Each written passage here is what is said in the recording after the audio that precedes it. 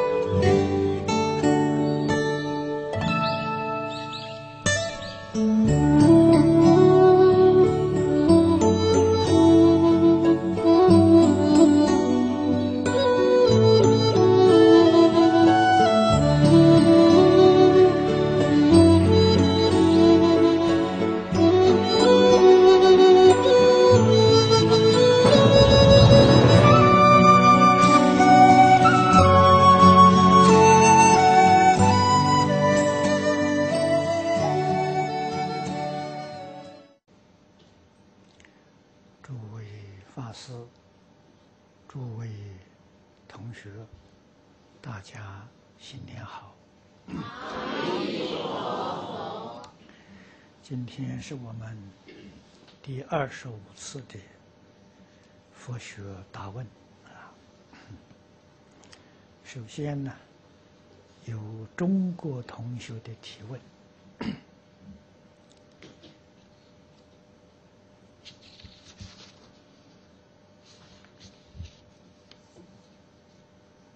有六个、五个问题啊，五个问题。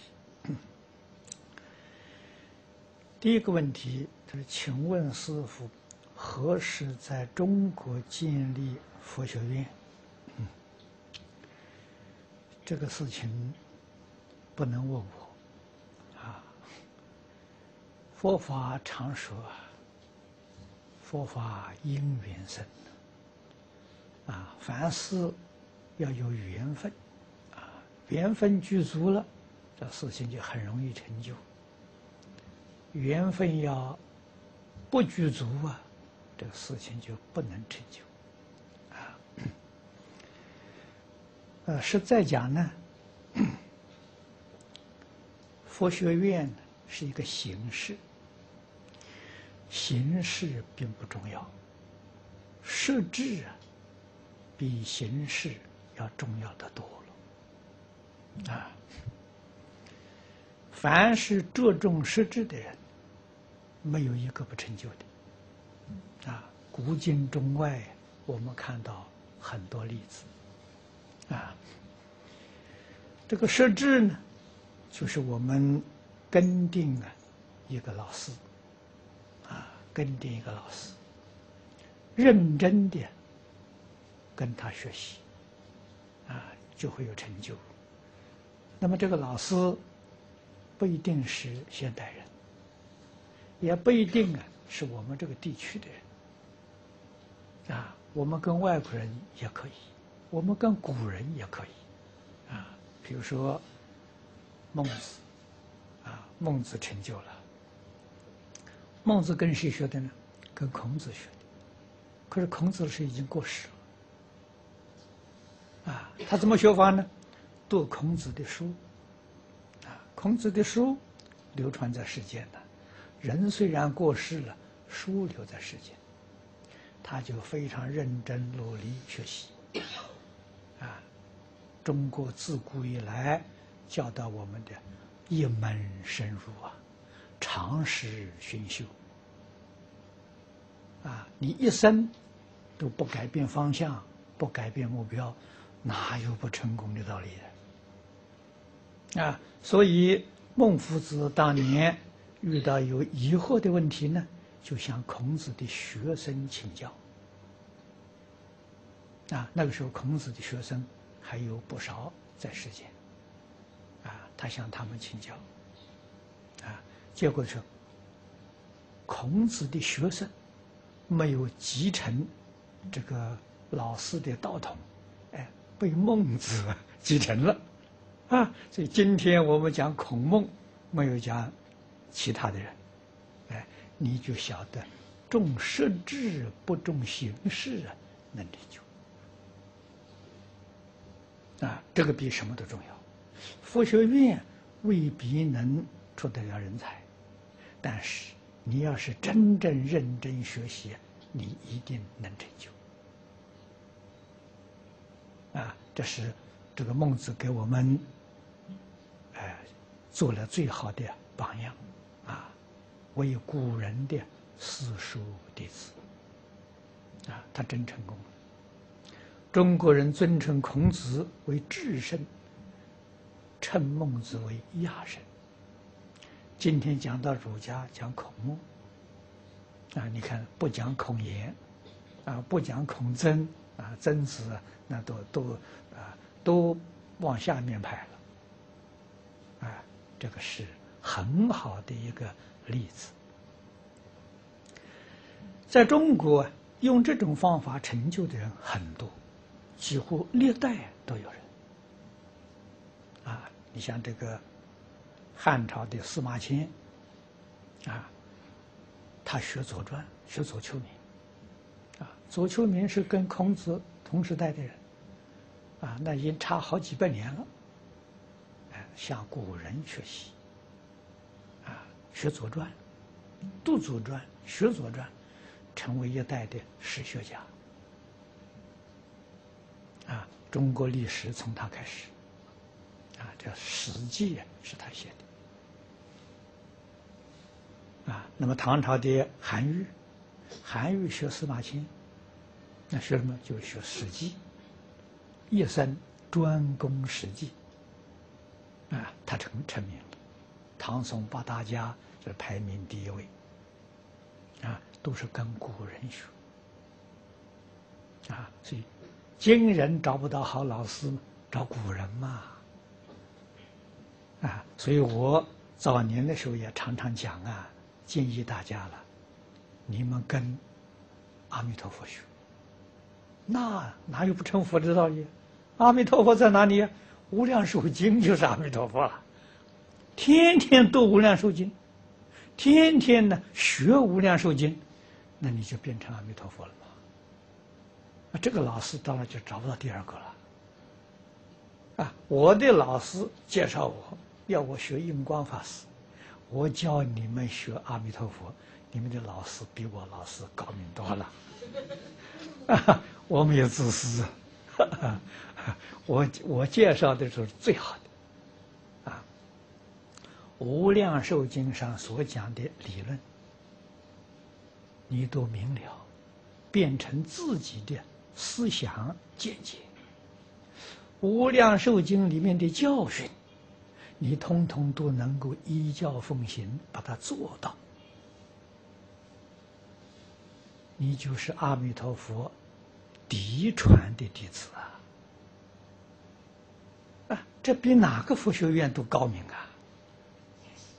啊，所以诸位啊，要懂得这个道理，哎，懂得这个道理，认真学习，啊。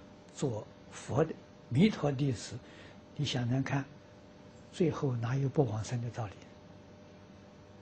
啊，阿弥陀佛真正的弟子啊，他怎么会不来接引的？啊，毫无疑问的，啊，要要认认这个做老师，啊，那么修学净土，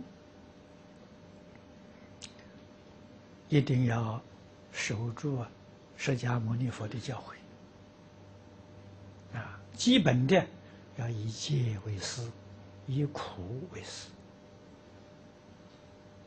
啊，过清清淡一点的生活，苦一点的生活好啊，好在哪里呢？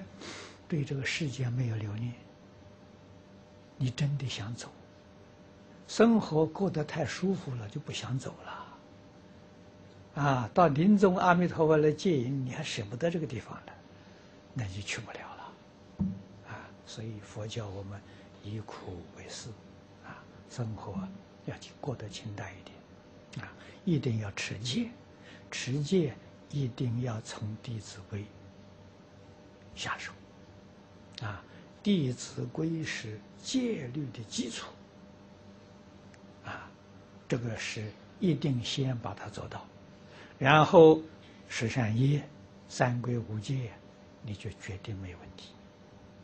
啊，那么在家同修，有这些戒行的基础就可以了，啊，就决定了往生。啊，出家同学呢，还要加一个沙弥律仪，啊，十戒二十四门为一，有下面基础，这个不难的，很容易做到啊，啊，这个样子修行呢就行了。第二个问题，他说：“听说你在山东要建立一条龙的学校。”不知何时成立？由此一说，但是学校哪一天能建立呢？也要看因缘，啊，不过山东省这个省里面呢，跟这个县市的领导都非常热心。很希望，能把这个学校啊促成啊，可是办这个学校也不是一个容易事情啊。我们会全心全力去做啊。中国国内现在也有很多的呃非常优秀的老师啊，他们对于传统文化。对于孔孟这个学术也非常欢喜，啊，也有相当的认知，啊，那么大家同心协力了，啊，我们可以协助他把这个事情呢做成功，啊，那么我想明年呢，看看。呃，缘分啊，也许明年的时候有缘分了，啊，就可以开始了啊。那么我们的理想，这个一条龙就是从幼儿园到大学啊。如果要希望学生不受染污啊，能够好好的栽培他，那就是。从幼儿园呢，一直帮助他读到大学啊。那么学生呢，幼儿园的学生不必住校啊，但是小学了就要住学校了，要接受老师的这个管教了啊。那么当中不收插班生啊，没有插班生，年年招生呢。都是招幼儿园小班，啊，是把他们带上去，所以老师变成保姆，啊，老师第一个条件就是百分之百的做到《弟子规》，你才能教他的以身作则，啊，这个老师教到什么时候呢？就是一辈子，就是带着一班学生，从幼儿园带到研究所。啊，学生年年升级，他自己也年年升级。啊，当然到中学、到大学，他需其他课程，我们会聘请老师来教。伦理道德这个课呢，是他教。哎，他从小教到大，把学生教到这个研究所毕业。啊，我们是这么一个想法啊，所以在求学这个期间当中，换句话说，从小学你上学了，一直到大学研究所毕业的时候，这当中你不能回家，也没有放假啊，你要回家一探亲一放假，全部就完了，通通被染污了。啊，所以这个学校有它的特色，啊，恐怕愿意来上学的人不会太多。等于是你送进去，小孩送进一年级送进去，差不多到将近二十岁才能回家探亲。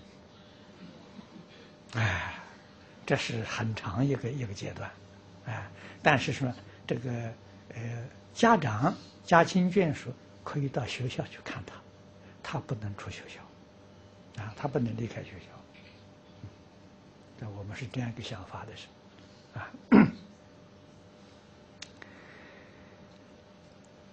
第三是许多家长迫切希望自己的孩子们能上这个学校，成就圣贤德行，继承圣贤事业。现在这个学校，啊，没有建成之前，应如何教育孩子才能抵御外界强大的诱惑？那就是教《弟子规》。啊，《弟子规》一定是父母、大人跟。儿童一起学，才能产生效果。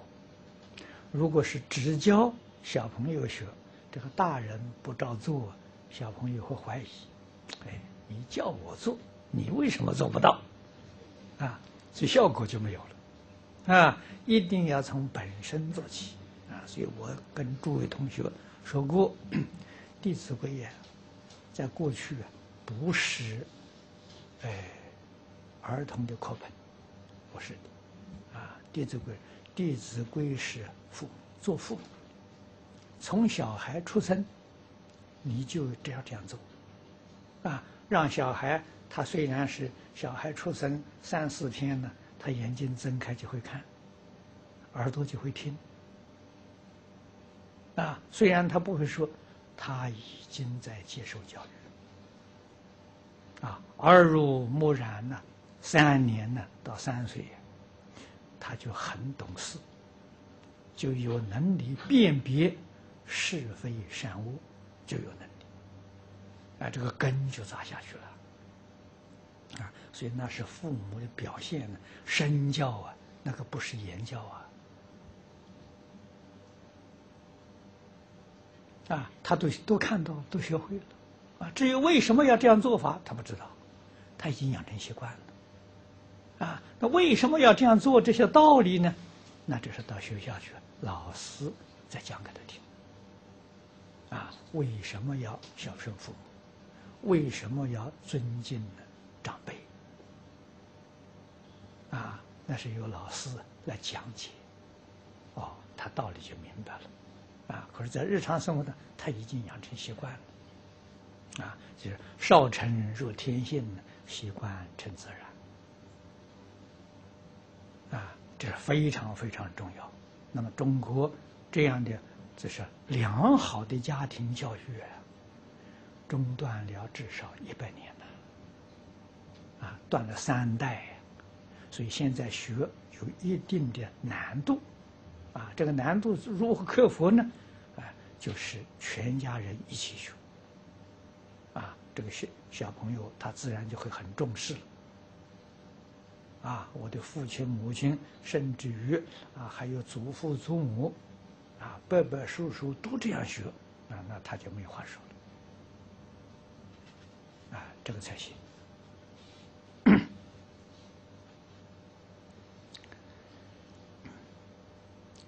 第四个问题说，零五年有六位居士在道场打百日佛七。饭量逐渐减少，至七十天时，六位都是二十四小时念佛，虽有时疲劳会瞌睡，但基本上精神都很好。他问两个问题：第一个，请问为何出现了这个现象？这是在什么地方打佛七？我不知道。在在什么地方？这个是非常殊胜啊。至于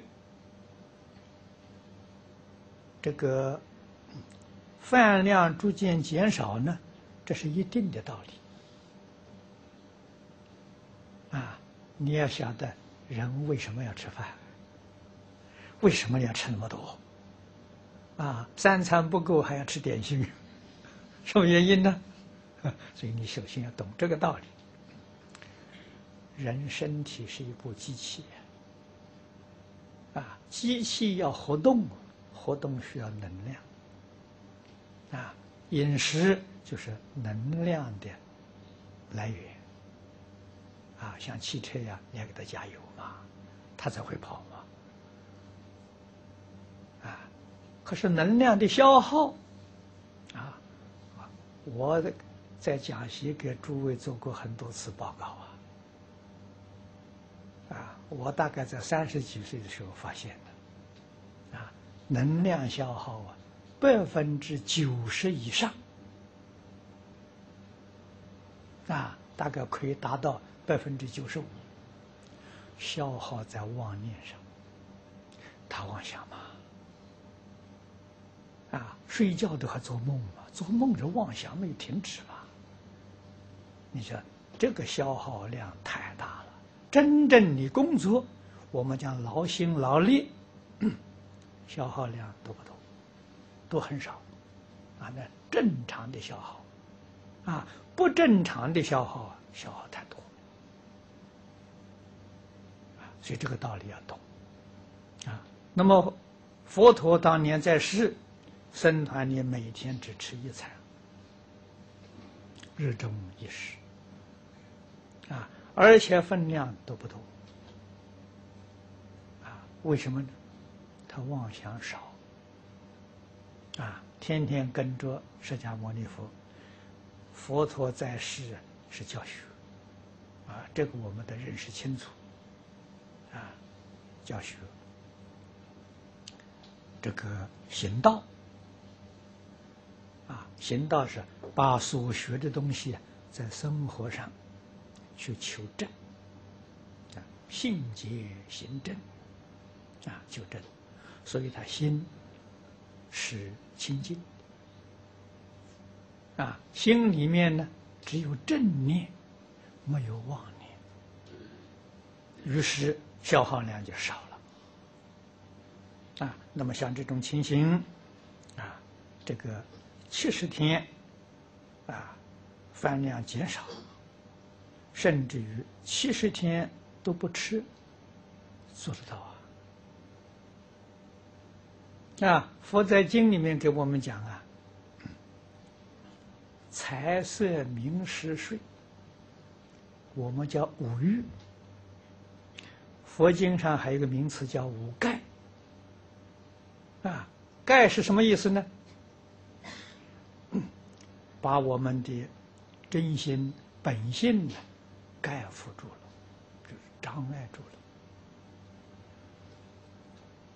这些东西，凡人有，圣人没有，他可以离开的。你看，佛教我们五欲要断掉啊，五欲里头有饮食有睡眠呢，饮食睡眠也要断掉啊。这不是，这是病态呀，这不是健康状态呀。那健康状态的时候。人不需要饮食，也不需要睡眠，那才叫健康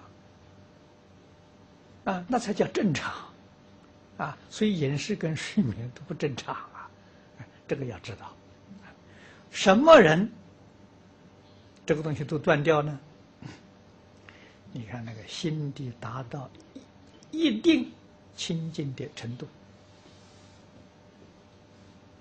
啊，世间呢？这不是出世间的，初禅，啊，修禅定到初禅，初禅生色界天，这五样东西都没有了，啊，色界总共有十八层天，啊，这十八层天里面没有饮食，没有睡眠，啊，精神个个饱满，啊，非常欢喜快乐。啊，由此可知，这个定功越深的人，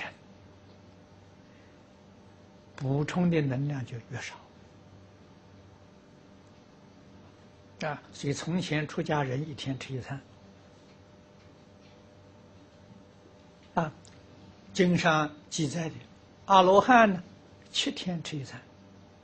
啊，一个星期出去托钵一次。辟支佛。那个定功比阿罗汉又要深一层，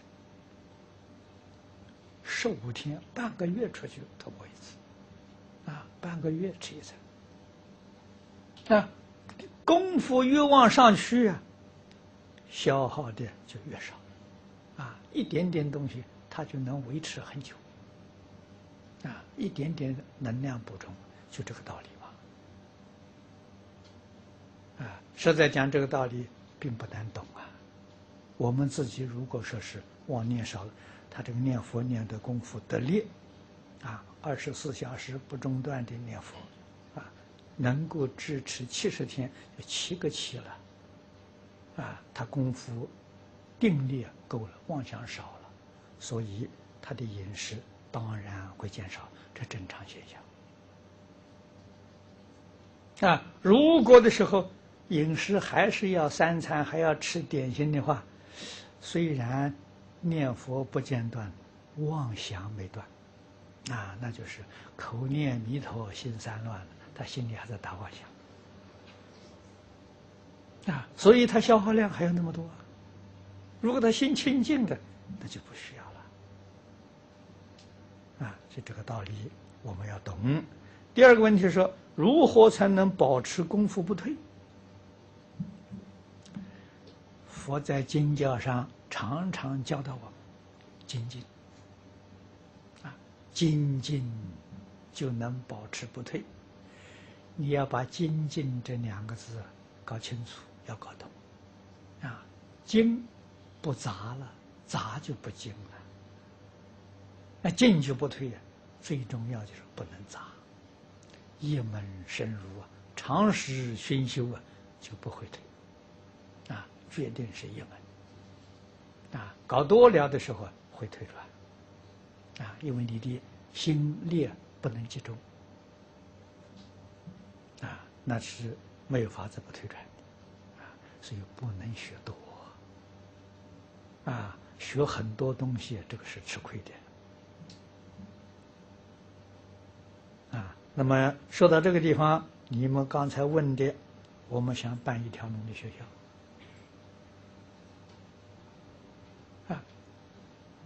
幼儿园啊，大概也是三年吧啊，这个三年的教学就是一门。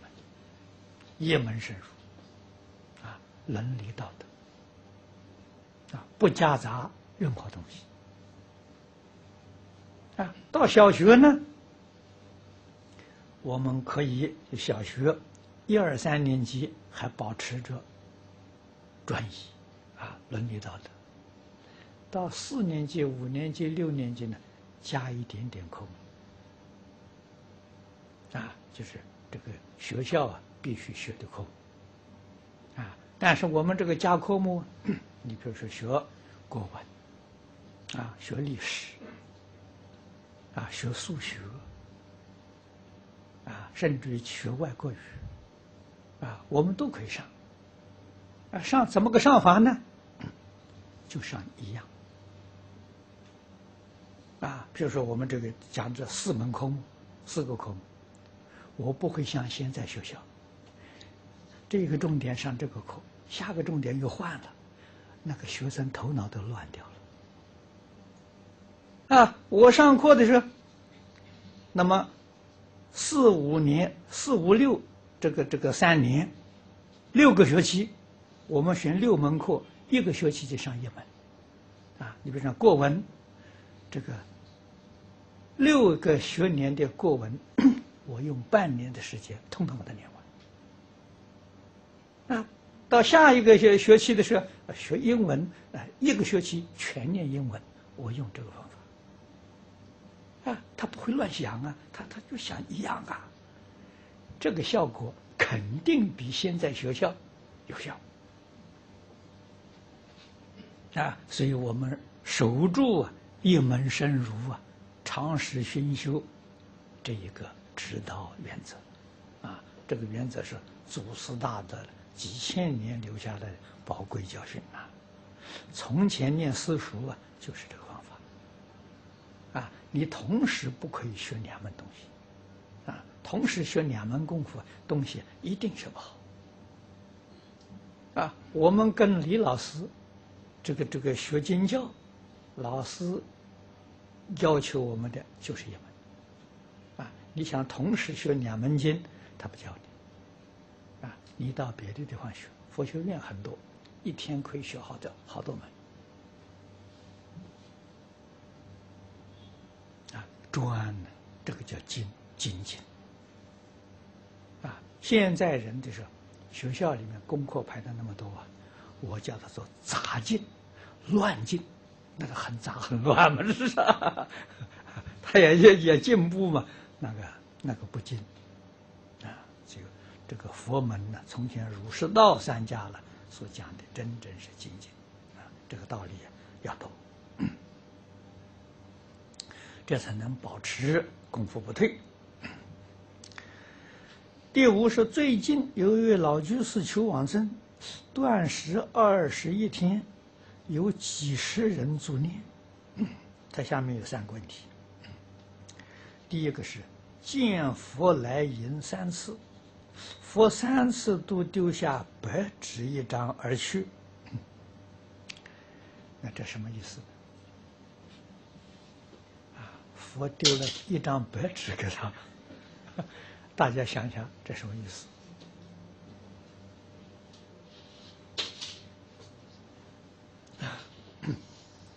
我们再看到第二个问题，他说见到大莲花这底部啊。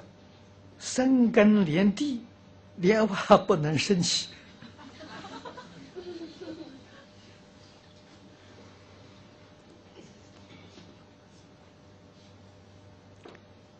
在我们想的是念佛功夫一定很不错，啊，有这么好的感应，啊，为什么不能往生呢？肯定还有放不下的啊。没有能把这个世间的缘断尽呐，他还有这个根呢，啊，还有个根呢，啊，但是有这种功夫，有这种现象呢，我们肯定，他虽然不能往生啊，来生绝不堕恶道，嗯，因为那个地上生莲花的，这就不会堕恶道，哎。离不开地，就是离不开六道轮回啊！这个我们要懂得，劝他放下，再放下啊！有丝毫放不下，都不能往生。嗯，带业是带续业啊，过去生中的业，不能带现在的业。啊现在的业是造成障碍，哎，这个这个道理要要懂得，啊，现在的业的时候，通通放下，啊，过去生中是阿赖耶里面的种子，那是业障，啊，这个我们懂得，佛经讲的太多了，阿赖耶里面虽然有业因，他们有缘，我通通放下，缘断掉了，缘断掉之后啊，那个业不碍事，这个可以往生。啊，所以说带旧业不能带新业，啊，那他肯定还有放不下的，啊，这才造成这种现象。第三呢，说老居士虽然未能往生，但之前身体不好，现在却异常健康，请问是否有换体之说？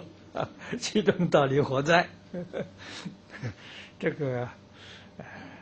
哎你说换身体嘛，呃，也能说得过去。这个其中道理何在呀？这个你看看江本胜博士水师业，你知道了，啊，你就晓得了。所以我们每个人都可以换身体，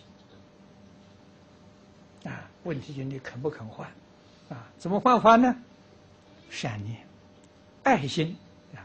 江本胜居士实验的结果，爱跟感谢、感恩这两个念头啊，使水接近显示出的这个、这个、这个、这个相啊，非常之美啊！所有一切善念都不能跟它相比啊！所以他告诉我，哎，他说这个可能是宇宙的中心呢。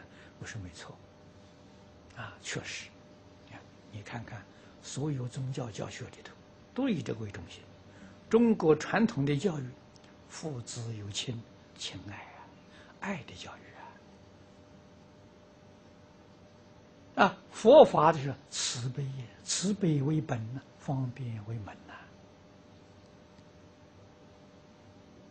啊，这个是呃，基督教、天主教跟犹太教这三三个教啊，是一家人。啊。他们的经典就是诸位熟悉的新旧约圣经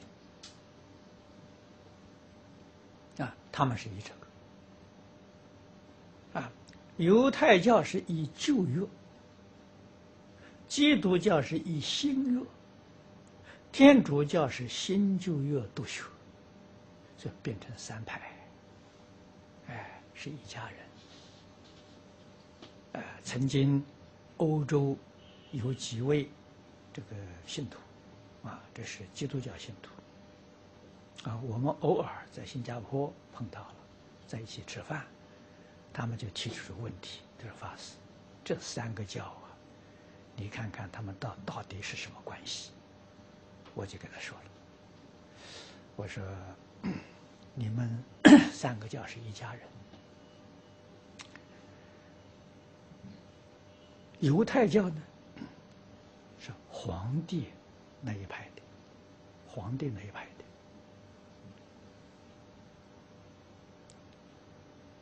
天主教呢，皇后那一派的；基督教的太子那一派的。他一听呢，哎呀，你讲的很对，很 很有道理，很有道理。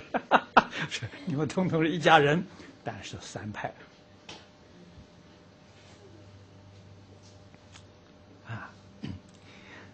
我说那像这个这个伊斯兰教的时候，那是你们的亲戚，啊，这是表兄弟、堂兄弟之类的，啊，啊，这通通都都有关系，啊，没有一个不讲爱呀。你看圣经里面讲神爱世人，上帝爱世人，啊，古兰经里面讲的是安娜确实是仁慈的。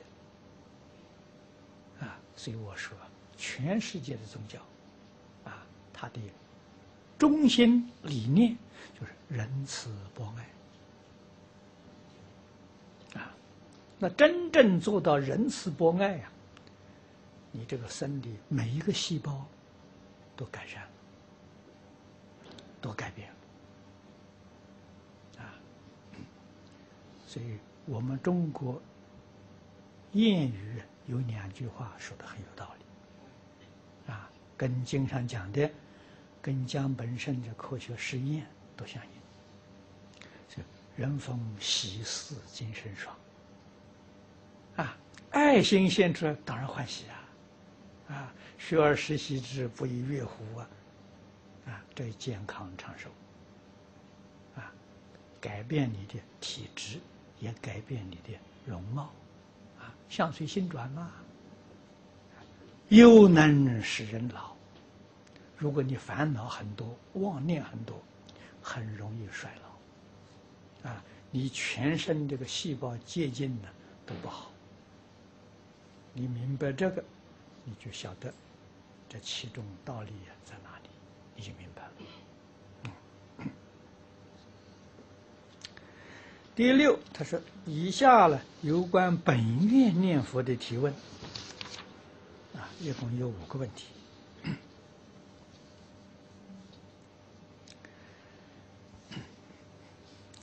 第一，网络上有文章说，你对本愿念佛法门不肯定，那么应如何理解一些本愿念佛的人啊？”往生的现象，所谓本愿念佛，这个是古大德啊，古来祖师大德提出来的，哪里会有错误？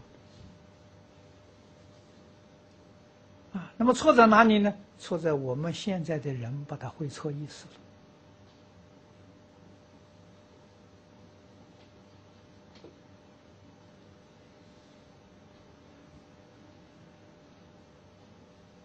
我在讲《无量寿经》的时候，讲过很多次了。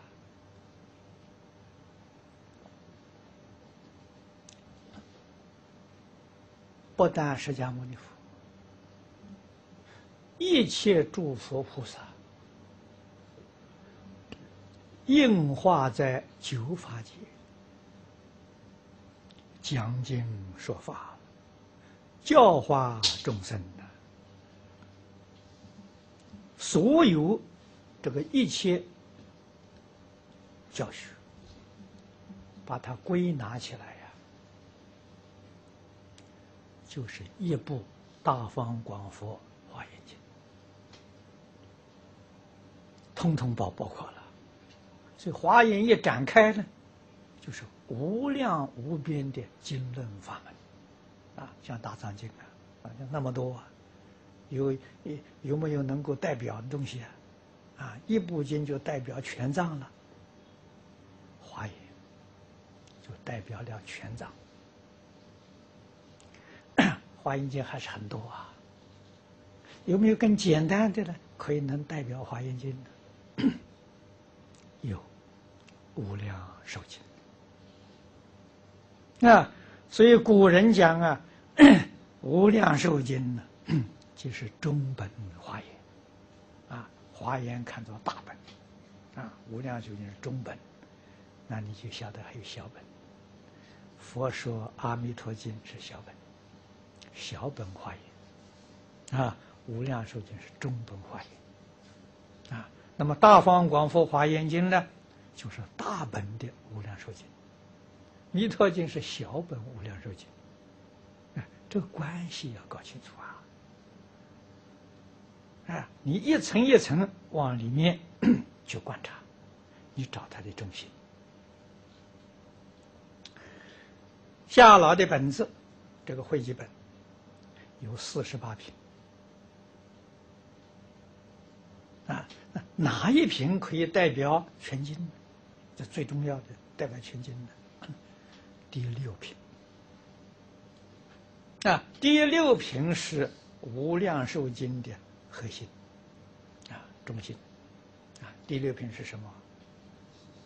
四四十八愿呐，这四十八愿，四十八条。哪一条又是核心的？啊，又是中心的？第十八愿。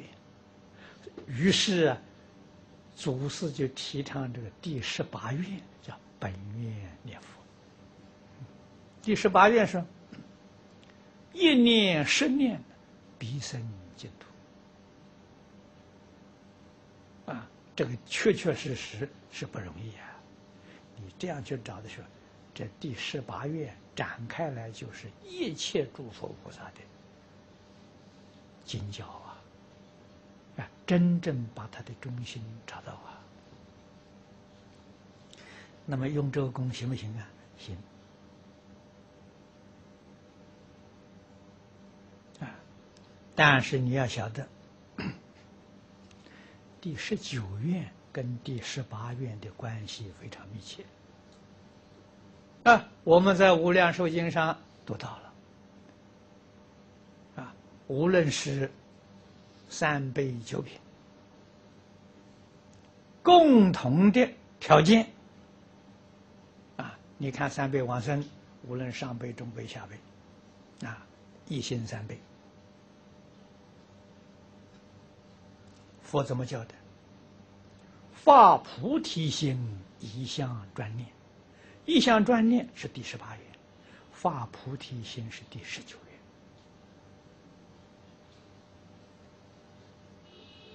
如果只有十八愿，没有十九愿，你还是有问题啊！佛跟你讲呢，我这是讲的清清楚楚，发菩提心，一向专念。你只有一向专念，没发菩提心啊，你差一半呐！啊，那一半不能往生的。啊，再说个老实老实话，我发菩提心，没有一项专念，能不能往生呢？难。临命终是一念十念真能往生，他有菩提心。啊，这话不是我说的，偶一大师说的。偶一大师给我们讲啊，往生的条件是能不能往生啊，在你有没有愿力啊，在信愿之有。你有信有愿就能往生，品位高下了，在持名功夫的深浅。啊，你念佛的功夫深，品位高；念佛的功夫浅，品位就下。啊，那么由此可知啊，心愿太重要了。心愿行是三资粮基本条件呐。啊，祖师大德跟你讲，心愿行三资粮。行的里面，你有信有愿；行的里面的时候，你抓住十八愿这个行。如果你信愿都都有问题，啊，都都都成了问题的话，只有一项专念不行，不能完成。啊，所以要明白这个道理。祖师提的是对，为什么呢？念佛人有信有愿。啊。这一句话是劝你，劝你专心念佛，啊，万缘放下了，一心专念嘛，一项专念嘛，那就行。啊，这个好啊，你很多不认识字的，啊，没有这个接触过佛法的，哎，你叫他呃劝他念佛求生极乐世界，他相信。他相信有极乐世界，他相信有阿弥陀佛，他一点都不怀疑，啊，有信有愿，真的想到极乐世界去，哎，就一句阿弥陀佛，其他什么都不要，这叫本愿念佛，啊，祖师提倡没错啊，啊，如果说支持本愿念佛，排斥其他的念佛方法，那你就错了，你就不能往生了。啊，为什么不能往生呢？你是自赞回答，其他的法门都是佛传的。啊，你学这个法门，排斥别的法门，你就跟别的法门对立了，你的心不清净，啊，你的心不专一，啊，你在那里谤佛、谤法、谤僧，为什么？人家依照其他的方法念佛往生的人很多，那你不赞成回谤的时候，这个法是佛传的，你谤佛啊。那么经教是佛说的，你谤法。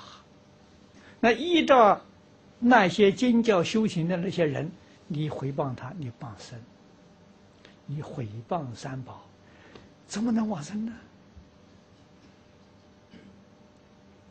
哎这个道理要懂啊！八万四千法门都是佛说的，我修这个法门，对其他法门欢喜赞叹，通通都能成就啊！法门平等，无有高下，都要尊重啊，都要赞叹啊，都要礼敬，那你就能往生啊！如果你执着你这一门，这个排斥别人的话，你就不能往生。这个不能往生的原因，你回谤三宝，啊，虽然你自己心念念佛，但是你回谤三宝，啊，回谤三宝能不能往生呢？不能往生。四十八愿有，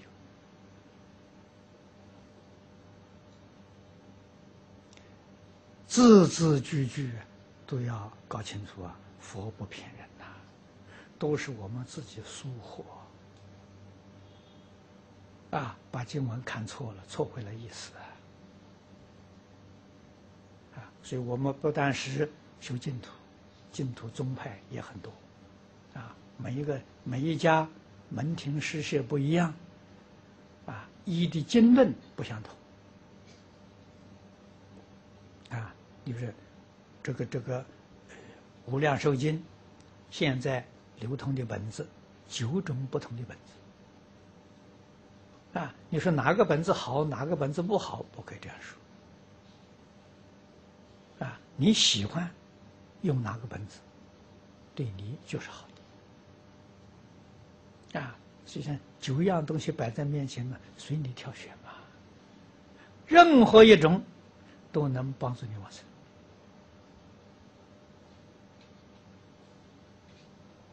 啊，净土无尽一论呐、还有观无量寿经、阿弥陀经。啊，依阿弥陀经的人很多，阿弥陀经祖师所传的修学方法不尽相同。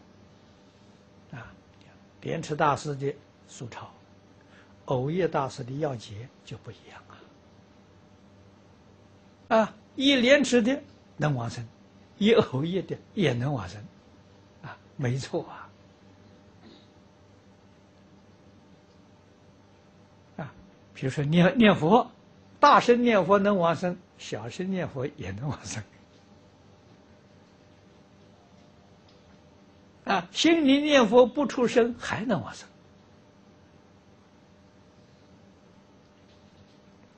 啊，所以这一些。这种方法很多，这八万四千法门呢，要知道，啊，它的方向目标是一个，啊，为什么佛设这么多法门呢？众生根性不一样，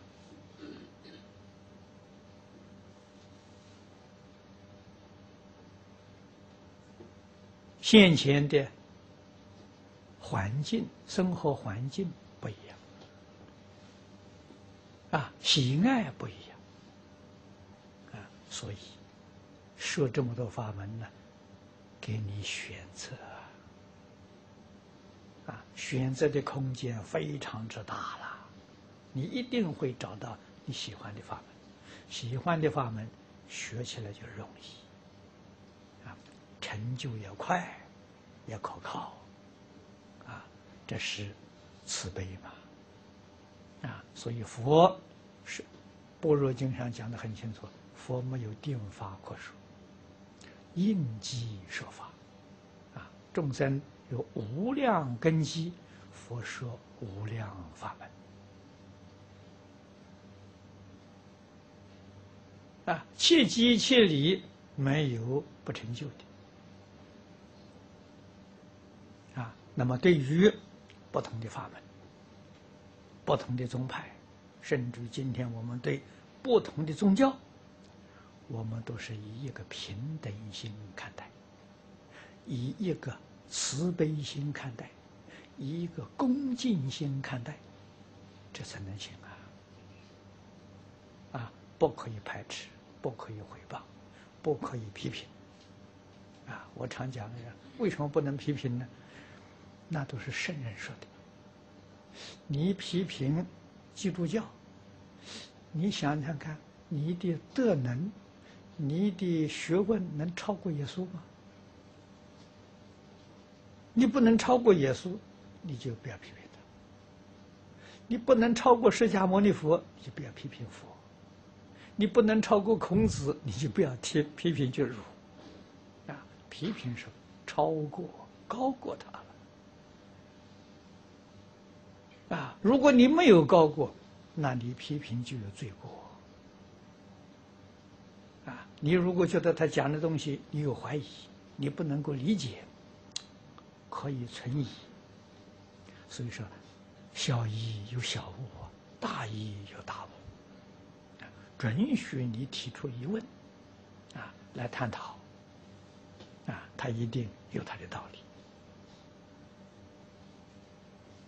这个都是读书做学问的基本的态度，啊，这应该要。第二个问题是：是否可理解为本愿念佛法门只适合某些根基的众生？啊，譬如只信佛理不信自力的，啊，这个比喻不必说。啊确确实实是不同根基的，啊，所以祖师提出这个呃这种方法，啊，那你要去有怀疑，你去探讨，啊，他在什么时候提出的？他在什么地方提出的？当时跟他修学的是哪一类众生？啊，他一定齐齐切理，啊。所以有很多东西，祖师的东西啊，适合于某一个地区，适合于某一种根性，啊，那么佛的东西呢，多半是比较普及一点，普及化，啊，大众化，啊，通通啊都有利益。第三是，如果别的任何法门不能救度他们，只有本愿念佛可度，不是也很好吗？刚才我讲过了，啊，我把本愿法门概略的是讲清楚，当然好，哪有不好的道理？啊，哪一个法门都好，啊，贤教、密教、大乘、小乘，啊，没有一个法门不好，八万四千法门，啊，平等的，不可以说这个好那个不好，不可以说，啊，只能说这个适合我的根性。啊，我修学比较方便，那个法门对我的时候有困难，啊，但是我们要赞叹，我们不可以批评，没有资格批评。啊，我在九七年，啊，三十年前，第一次到香港来讲经，啊，那一次讲楞严，圣意法师，有很多法师。天天都来听啊！啊，圣意法师听得很欢喜，通知他的信徒，啊，都要来听我讲经，啊，还邀请我到大屿山去访问，啊，那个时候他在宝林寺，啊，宝莲寺后面呢，小路要走路，车不能到，大概走半个小时，半个多小时，啊，到宝林寺。啊禅宗道场。啊，那个时候有四十多个人，禅堂里坐香啊，我看到非常欢喜啊，啊，圣严法师要我跟大家讲开始，啊，我就讲禅呢，口头禅呢，我虽然不是参禅的，呃，我讲口头禅呢，赞叹禅。啊，回来的时候在路上，陪到我有几个居士，啊，陪到我一起去的，在路上就问我，净空法师，你对禅那么赞叹呢，你为什么不参禅呢？你为什么念佛了？来问我，我说禅高啊，啊，禅根密度高啊，我的根基不够啊，我对他们很羡慕，很赞叹。我学不到，啊，我这种中下根性的人啊，念佛能能往生，参禅我不会开悟，啊，学密我也成不了佛，啊，但是我走往生这个路子能成得了佛，啊，所以我对于参禅的，对于学密的，那我五体投地，我非常尊敬，他们的善根比我深厚。啊赞叹，这就正确了。你看看《华严经》，啊，善财童子五十三参，五十三位善知识，都说自己不行，啊，自己能力很有限，只能学这个法门，啊，别人无论在哪一方面都超过我，啊，他们比我强，你到那里去参访，这个要学。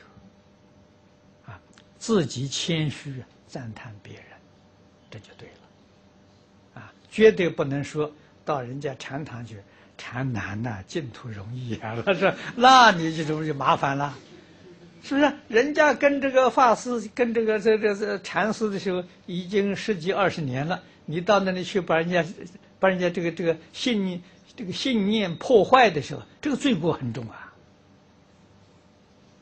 啊，所以是是。赞叹这个呃所修学的方法，禅的方法，赞叹道场，赞叹老师啊，他们这个学学生对老师信心更坚定、更坚固，他会有成就啊。人家请我们讲开始，要懂得这个规矩啊。如果你说哦，这禅不及静啊，静好啊，容易成就啊，禅难呐，你像这样搞法。那你就是要堕地狱了，啊！佛没有叫你呃，教你这么说法的，啊，就这样懂，啊，像这些基本的道理，我们在学修学的时候，老师都说过，啊，无论到哪个道场，一定是赞法门、赞道场、赞领导的老师，啊，让他在那边学习的时候，大众对他信心啊更能加强，啊，这个就对了，啊，决定不能够批评。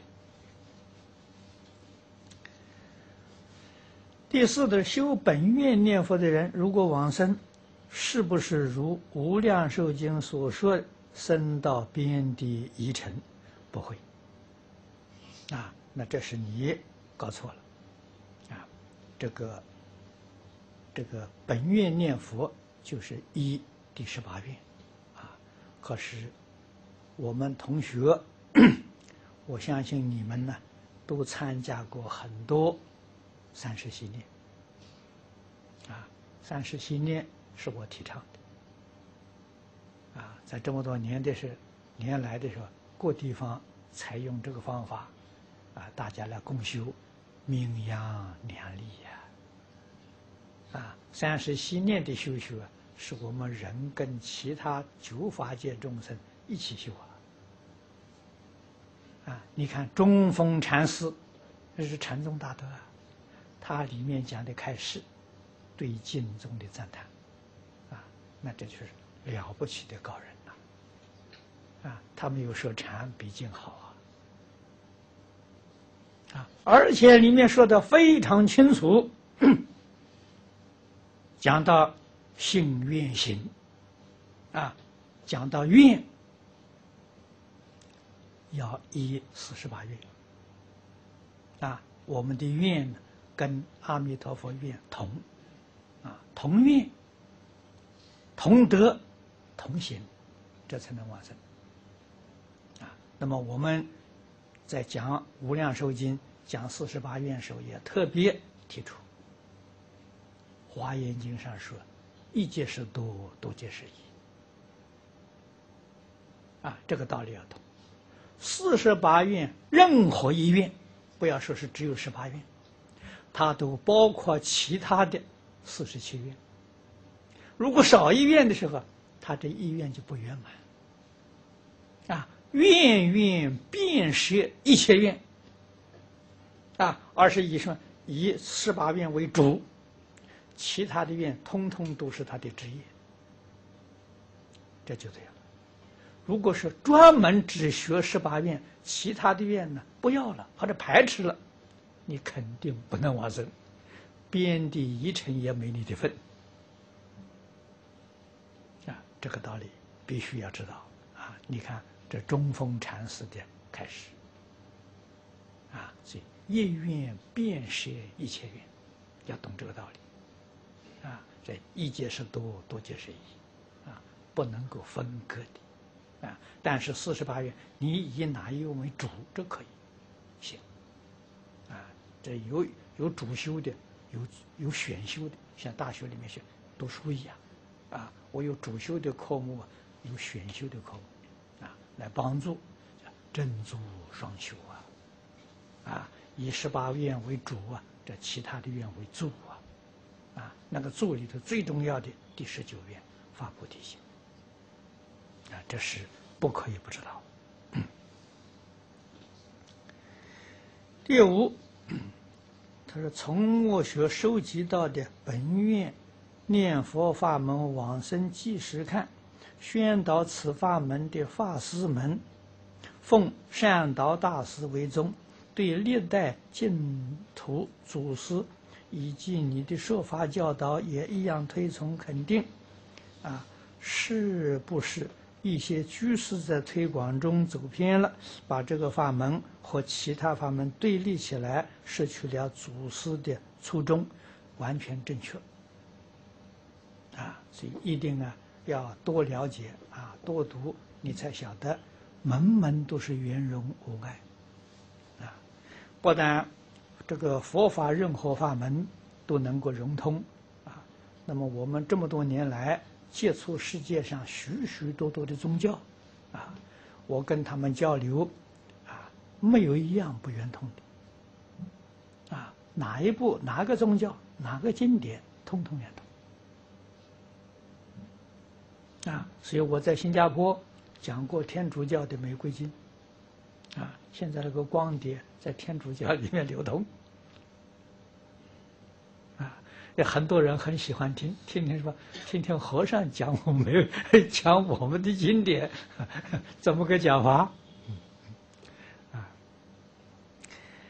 那么念这个，呃，北京啊，天主教的大主教啊，傅铁山长老，我也送了一套给他，啊，他也听了。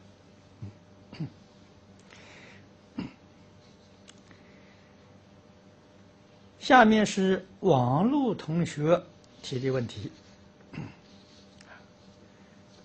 有啊，有九个问题啊。第一个是，请问因缘，因是众生造作，缘又因何而生？缘。也是众生造作，离开众生造作，因缘果都不可得啊。那么现在我们讲因呢，前生的造作，前生的造作是因，这一生造作的是缘啊。所以有前世的因，有今世的缘。果报就现前啊，比如说前生喜欢财布施啊，喜欢财布施，那是因。这一生当中呢，你经营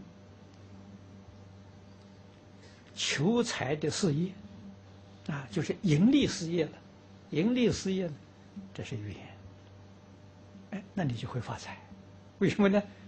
前世的因啊，跟今世这个缘结合了，你的财源就滚滚而来。无论经行经营哪个行业，通通发财。啊，经营的行业是缘。啊，所以说，如果前世没有修，没有因，这一生当中啊，你做什么样人生事业，你都赔本，都不会赚钱。为什么呢？没有因啊，这个这个要懂啊。修法布施，果报是得聪明智慧啊；修无畏布施，果报是健康长寿。种什么因呢，就得什么果啊。过去生中种的是因，今生在做的是缘啊，果报。会现前，那么来生呢？那我们今生做的是来生的因，啊，来生在做的时候，那又变成缘。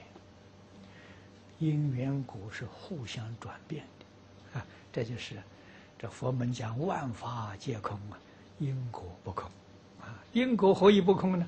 因果转变不空，因会变成果，果又会变成因，啊，这个在植物里面呢，大家就能看得很清楚。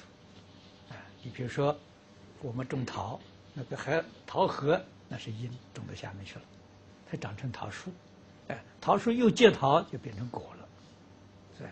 因会变成果，果会变成因，这个是，哎，转变不可，啊，循环不可，相续不可，啊，所以它有这三个现象，啊，因果有三个现象，啊，转变、相续、循环。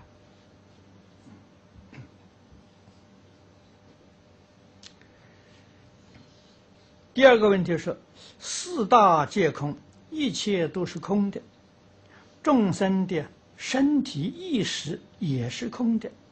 请问，法本为空，向何处求？我本无执，何来善恶？如果你入这个境界，你已经是法身菩萨了。啊，这个不在设法界里头。设法界里面没有这么高的境界，啊，有这个境界，已经超越十法界了，啊！可是，如果你只会讲，你还有自私自利，还有是非人我，那你还是六道众生，你还出不了六道轮回。啊，必须是你自己亲证的境界，那你就超越十法界了。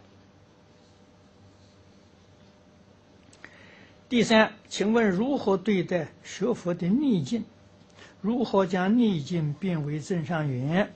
啊，对待学佛的顺境又该如何？你这个问题啊，正是我们现在讲《华严经》的进行品。啊，进行品里面四十一愿，就是说，把境界转过来。啊文殊菩萨讲：“菩萨善用其心的，则能成就一切圣妙功德。”啊，所以希望你好好的在进行品上下功夫，啊，这个问题就解决了。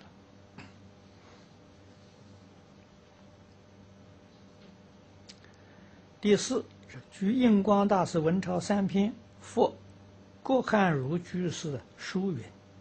药师佛、弥陀佛手印相似，药师是大三昧印，左掌啊在右掌上，弥陀借的是弥陀印，右掌啊这个左掌在右掌上，而老法师讲的弥陀印，右手放在左手上，请问何者正确？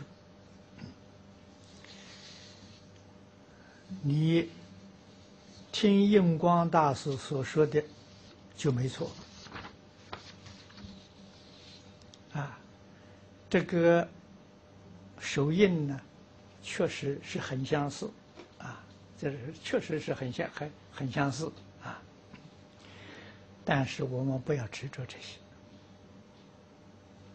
啊啊，佛法破执着。啊，就是立一切妄想分别之处，就对了。不要着重在形式，我们要重视在实质。啊，实质心经则佛土经。啊，就是清净平等觉。啊，那么在经宗里面讲的心愿行三资粮。啊，着重在这方面，嗯，这就好。印光法师文钞，如果有这个缘分呢，多读非常好，非常有利益。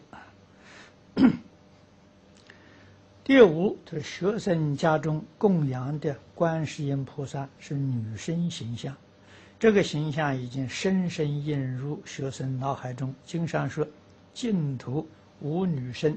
请问平时修行如临终所想象的佛菩萨形象呢？该如何统一？这个事情最好不要分别。你要是分别了，这个统一就比较上麻烦啊？为什么呢？它本来没有凡所有相，皆是虚妄嘛，到哪去统一嘛？啊，所以分别统一都是两边啊，都是两边啊，都是二法。那六祖说的是二法不是佛法，佛法是不二法，啊，所以要知道这一些高明的指导原则，啊，我们不生分别心，观音菩萨，你说她是女相，也没说错啊，啊，应以什么身得度，他就现什么身，啊。应以妇女身得度，他就现女相，没错嘛。啊，所以菩萨没有一定的身相，你怎么同意法？啊，佛菩萨没有定法可说，啊，所以法也没无法统一，啊，通通是。随机说法，啊，你看楞严说的好啊，随众生心应所知量啊，一切所说所为的，无非是破众生执着而已，啊，这是最重要的纲领。华严出现品说的好啊，一切众生皆有如来智慧德相，但以妄想执着而不能证得，啊，所以一切诸佛为众生说法，啊，目标在哪里呢？目标是帮助众生破执着，啊，可是众生很麻烦，啊，这个执着破了，他又执着那，你执着佛法。事发把这放下了，而又执着佛法了，啊，他总是要执着着。佛不是叫你还对象，是叫你破执着，啊，所以说事出世间法，这个一切法都不执着了，你就证阿罗汉果了，啊，那你就证得正觉了，啊，阿耨多罗三藐三菩提，翻成中国意思是无上正等正觉。于世出世间一切法不再执着了，啊，这真正确。如果不再分别了，不但不执着，分别的念头都没有了，那你就是正等正觉。啊，我讲的不要，大家好懂啊。如果说是对一切法世出世间一切法六根根接触的，不起心不动念，你成佛了。华严经上讲，初住以上的菩萨，那叫破一品无明。啊，我这样讲的是诸位好懂啊。不起心不动念，起心动念是妄想，就是无明。啊，不起心不动念呢，是是化身菩萨，啊，那就是成佛。啊，这个我们在华严上已经讲得很清楚了。华严里面所讲的四十一个菩萨阶位，啊，那是什么呢？那是根本无名的习气，啊，习气虽然都证得一真法界，可是无名习气呀，个人带的不一样，啊，有浅深不相同，所以才分四十一个阶级。啊，实实际上有没有呢？实际上没有。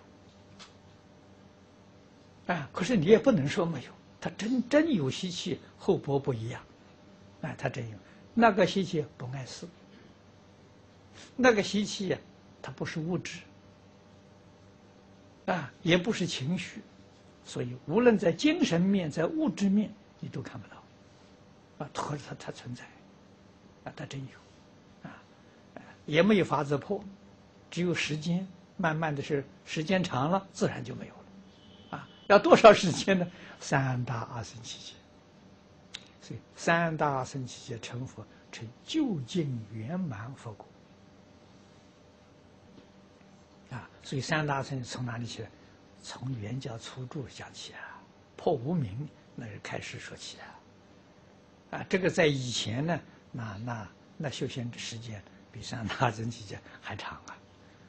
由此可知，我们生生世世都接触了佛法，都在佛门修行，啊，否则的话，你们在这个两个小时坐不住啊！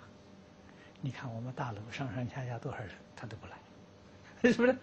善根不够嘛？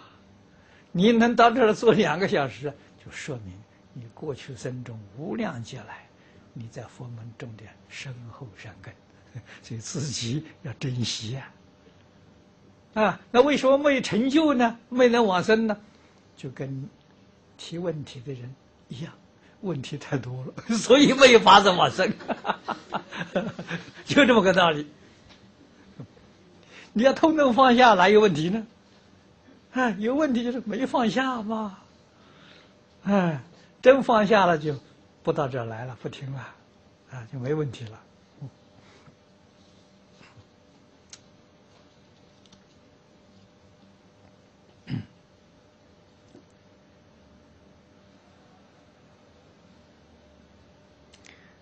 第二个问题是：临终时心中所想的西方三圣，请问是否必须和阿弥陀佛一样的形象？这个都不要去执着。到时候无论什么现象现现前，你一定认识。啊，一定认识，你不会认错。啊，如果不是这个阿弥陀佛，或者是释迦牟尼佛来了，药师佛来，你也知道，你也很清楚。啊，可是如果不是释迦牟尼佛，是其他的佛，啊，其他的佛就是不是阿弥陀佛，其他佛来说，你不要跟他去。啊，为什么呢？那个不相应。啊，我们念佛人说，这密宗讲本尊呢，显宗也是本尊的。啊，我们的本尊是阿弥陀佛，啊，是观音菩萨、大势至菩萨，啊，他们来接引的时候没问题，啊，如果不是这三个人，啊，其他佛菩萨来都不可以，啊，为什么呢？魔会冒充，啊，魔会变成佛菩萨的形象来冒充接引，那你去了，你就上当了，哎。魔决定不敢变本尊，变本尊本尊他犯法，护法神干涉他。啊，护法神是绝对不会容许的。他变其他的时候，护法神不管。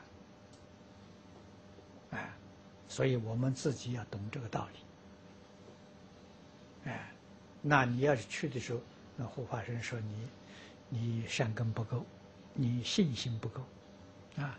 你是要跟弥陀去往生的，结果释迦牟尼佛来接你，你也去了，那就算了，好，随你去吧。啊，这就错了。第六个问题是为青少年讲德行教育，或许他们听不进去。如果透过游戏方式来教育他。也许更能接受，不知道这个构想啊是否如法？这个构想如法啊，所以现在我们用这个电视剧的方法啊，来帮助社会大众啊。那么现在在做这个伦理道德的因果的教育啊，我们做了《了凡四训》。那么现在有同学做这个于建议、于造神机，啊，这都非常好。那么接着呢，我们做感应篇，啊，做安史全书，啊，还有一些同学现在发现在做地藏经，啊，都很好。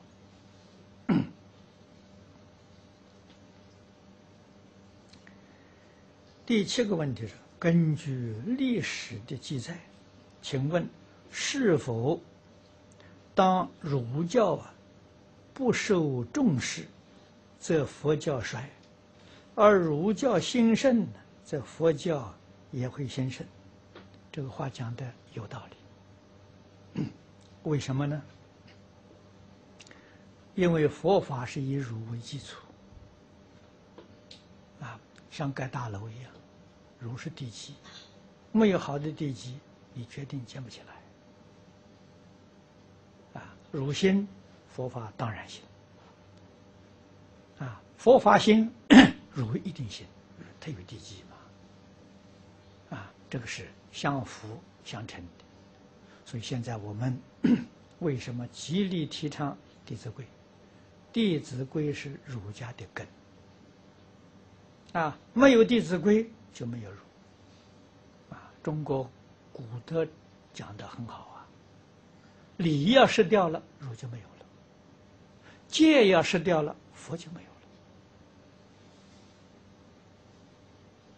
了。啊，所以我们希望呢，儒跟佛能够久住世间。啊，这个东西不能找别人，啊，求人呢是求不到的，要求自己。啊，从我自己本身做起。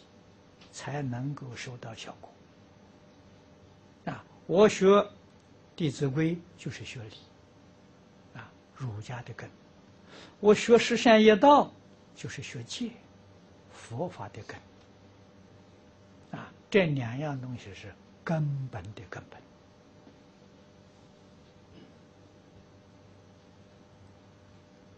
啊，那么有很多人知道，幽冥界鬼神呢喜欢《地藏经》，再告诉诸位，他们也非常喜欢《十善业道经》，啊，所以一切呢要从根本上修，啊。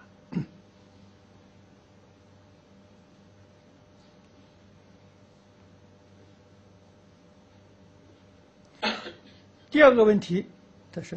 请问可否按照《无量寿经》和《地狱变相图》来编排佛教游戏的剧情？可以，这都是好事情。啊，这个把这个 佛法呢，以戏剧的方法，啊，用这种手段，达到弘法的效果，古人就在做。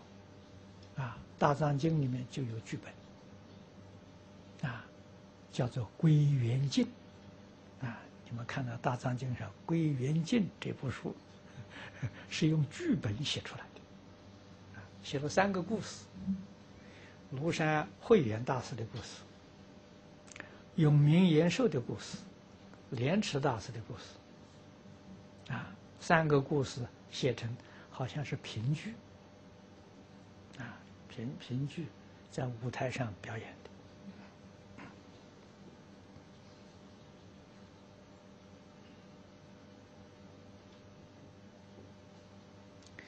第八个问题，师傅讲经时说过，我们的白天就是轨道的晚上，但又说我们的一个月是轨道的一天。请问，两者是否矛盾？没有矛盾，这时差的问题。啊，这个现在讲时差了，我们都有这个概念。啊，时差，啊，轨道，他们的生活跟人道啊很接近。啊，很接近，也很容易沟通。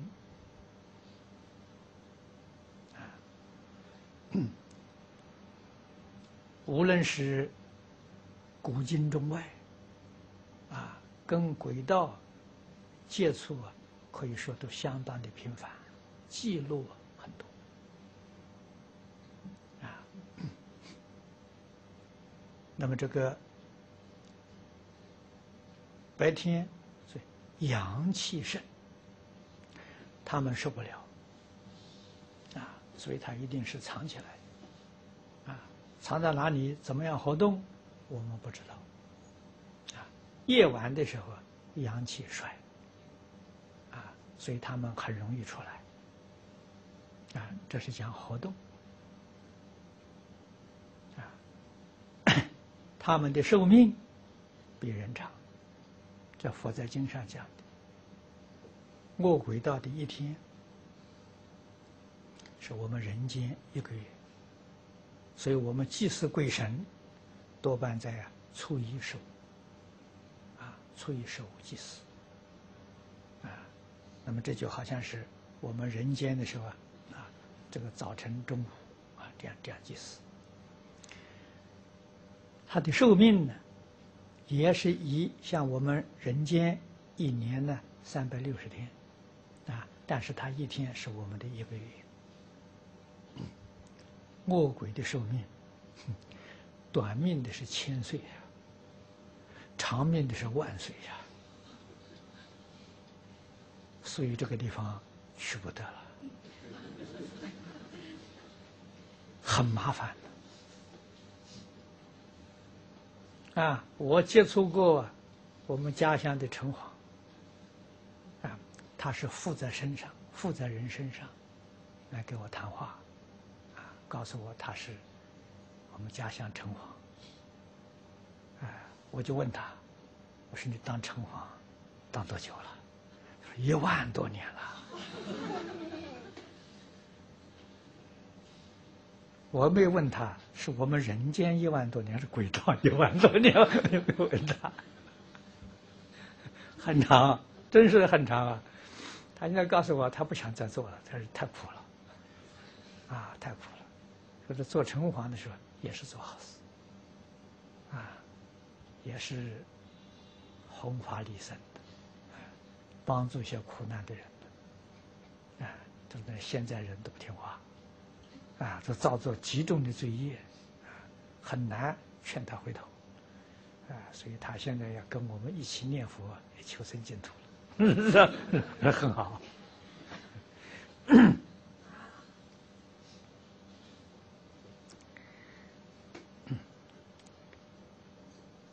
最后一个问题，他说印度文钞当中啊有戒毒的药方，这用方一尺的。红杨布，剪作二十四条。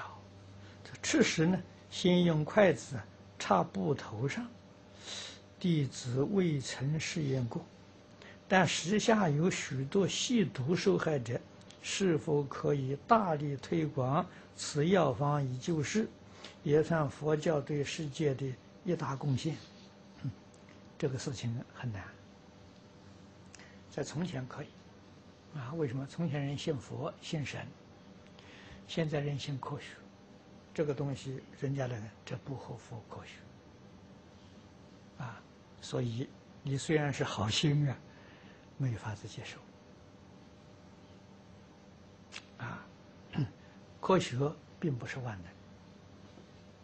现在这个世界上许多这个高级知识分子都知道。啊，这专家学者很多，我们都都谈论过这些问题。啊，它有好的一面，也有负面。啊，那什么，就看人怎么样去用科学。啊，那这个这个人是伦理道德的修养就很重要。如果具有伦理道德修养的人用科学，那对人是有利的。如果没有伦理道德这个观念呢，科学对人类就有害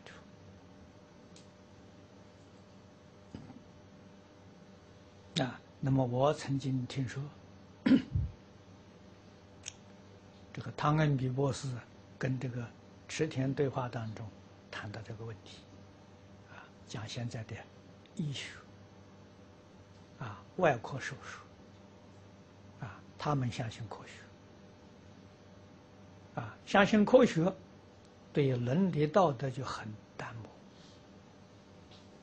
漠。啊，他动手术的时候，医生观念当中这个是什么呢？啊，就像实验室里头啊，拿着动物开刀，他一样的观念。啊，他没有把你当做人看待，所以说是对人的尊严、对人的这种爱心没有啊。这这手术是一桩好事情，但是心情的时候，那是远远哎对落了，不像从前这个医生，从前医生的时候爱心，他跟这个病人呢能够合成一体。现在这个外科医生很多时候没有这种观念，是是把你看跟动物没有两样嘛。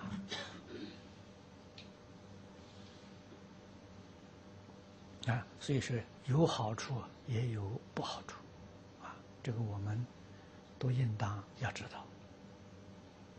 啊，汤恩米波说的是自己的，说我自己的，他说我还是希望啊有传统的医生，啊，就普通医生，啊，现在这个西医都走向专科，啊，都是专精某一门，啊，但是人体也晓得哪一门都连带到整个身体。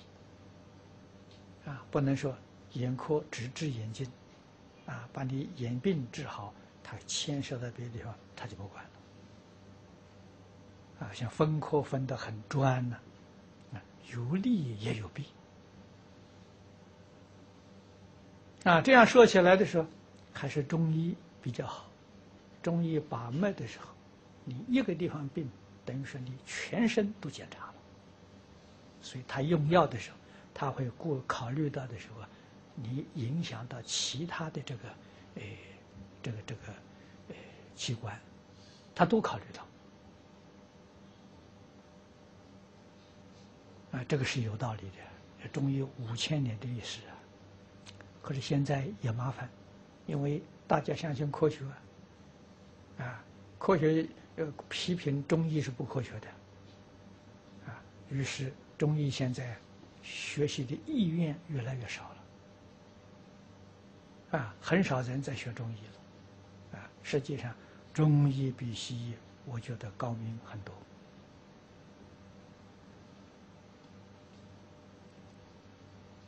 啊，年轻如果真的发心学医的，我们应当鼓励他去学中医。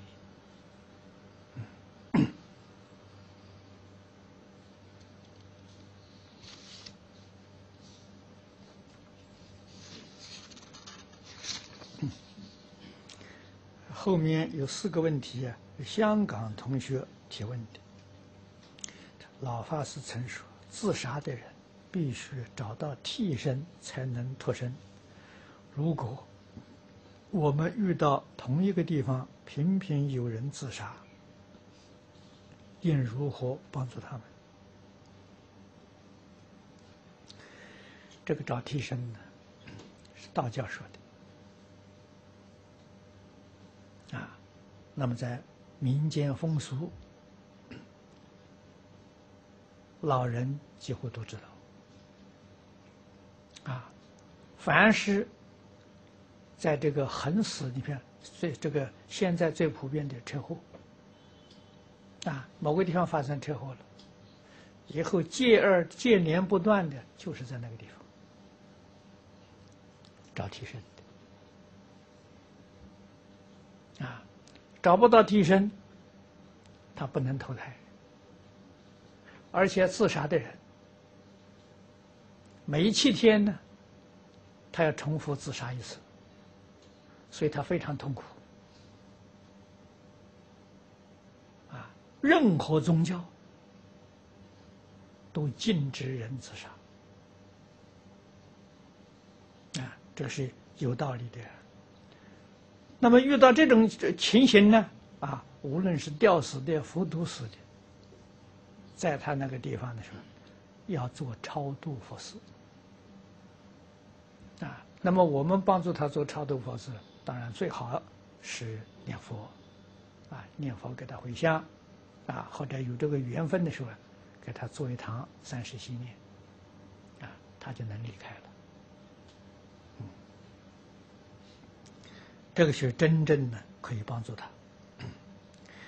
第二是弟子已受菩萨戒，现于安老院工作。有时必须为老人肉食，算不算犯杀生戒？会不会有什么其他的果报？这个没有。啊，你是伺候病人，那这种肉食肉不是你杀的，啊，不是你杀的，嗯，也不是你在厨房里调配的，啊，这个都与你无干无关系，啊，你好好的去帮助他们。啊那么同时啊，这个自己啊念佛、持戒、修行啊，那么你自己的形象就会转变的。啊，你的形象转变的时候，那些有病的人不但有病人，连医生都会向你请教。哎，你是怎么保养的？你是怎么会有这么好？哎，你就可以介绍给他，他佛法他没有兴趣啊，健康他很有兴趣啊，啊，所以这个是有助于身心的健康，啊，这是素食。嗯现在的肉食里面病菌非常多，很可怕，啊，病从口入啊。第三个问题，就是弟子近年来觉得自己昏沉的障碍越来越重。只要在家中，无论听经、绕佛、读经，总感觉极度疲惫。即使是拜佛了，都是趴在地上一下就睡着了。如果到道场，无论修学或是做义工，精神都很好。这个情形到目前已持续相当长的时间，弟子曾。为此失去了修学的信心，请问如何克服？那你说在道场啊，做义工很好，那你就来做义工吧，这问题不就解决了吗？啊，可是做义工还不能够离开学习，啊，只做义工啊，而不去学道，不去听经，那你就错了。啊，因为这个道场常年讲经，啊，念佛从来没有中断，啊，你在这个道场的时候，啊，在你有空闲的时间，你就参加听经，啊，参加念佛，啊，这就更好了，在道场确实三宝加持，啊。护法神护持照顾你，不一样。只要你做的如法，那么你做一段时期之后，你回家去，这些毛病通通都没有了。啊，这个是显示出自己业障重。啊，那么这是一个消业障有效的方法。啊，你要是能清楚的话呢，那你从这个地方讲，你就建立信心了。啊，你不会失掉修学信心，你会增长信心。嗯，人在这个时代，一天都不能离开佛法，离开佛法就造罪业。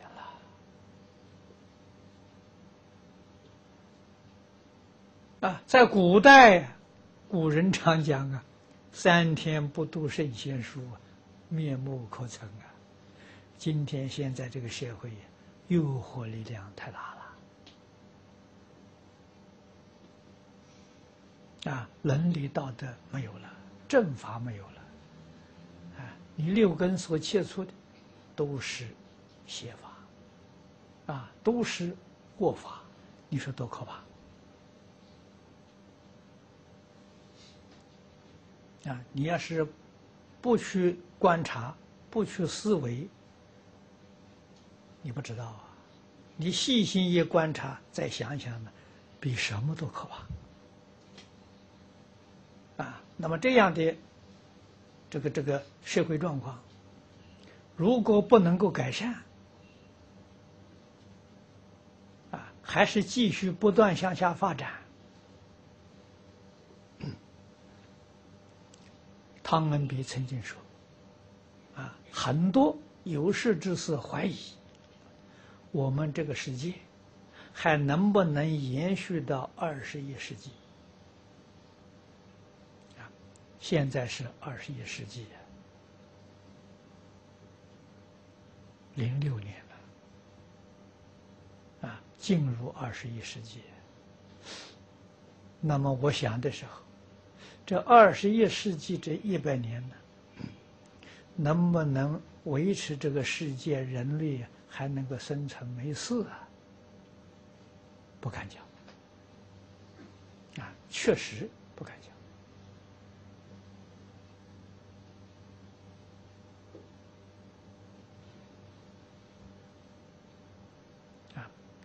世界，啊，很多外国人讲世界末日。啊世界末日，这是讲了几百年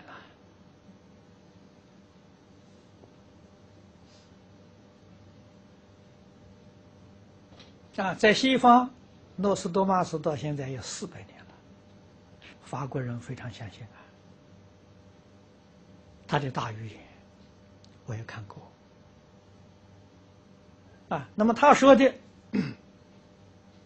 世界末日发生在什么时候？是两千年啊，一九九九年到两千年啊，世界末日发生啊，所以在那个时期，全世界的人都在祈祷。啊，希望这个劫难能化解。果然没事，啊，平安度过了。那个时候我在新加坡，新加坡一位 天主教神学院的，听说是院长，啊，跟大家就是说了说这么一句话说。末日应该在这个时候发生呢，为什么没发生？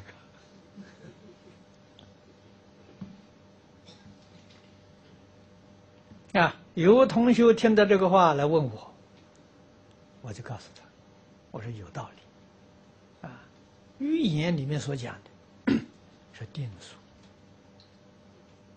啊，是定数，这个劫难是定数，定数里头有变数，跟人的命运一样嘛。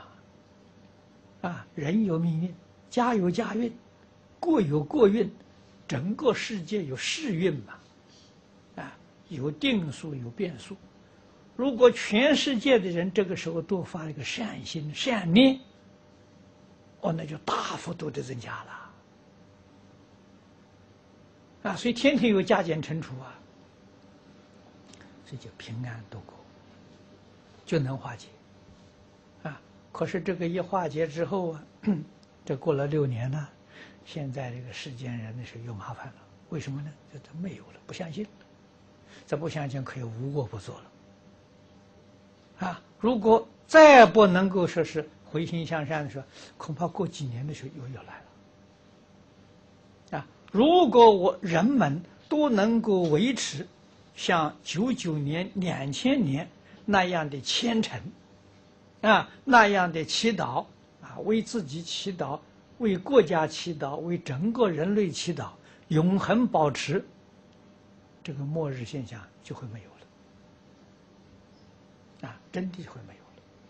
啊，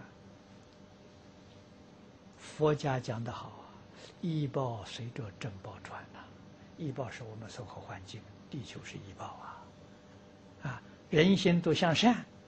这个业报就转变成极乐世界，转变成华藏了。人心不善呢，这个世界真的会毁